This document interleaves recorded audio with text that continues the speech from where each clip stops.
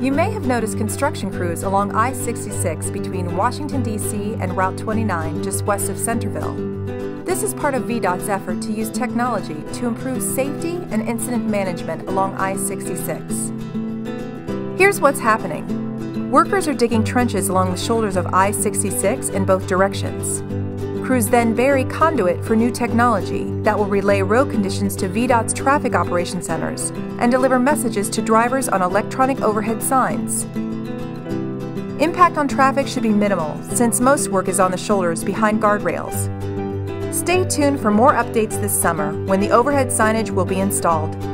Best of all, when complete in early 2015, the I-66 Active Traffic Management System will help reduce incidents and keep traffic moving smoothly.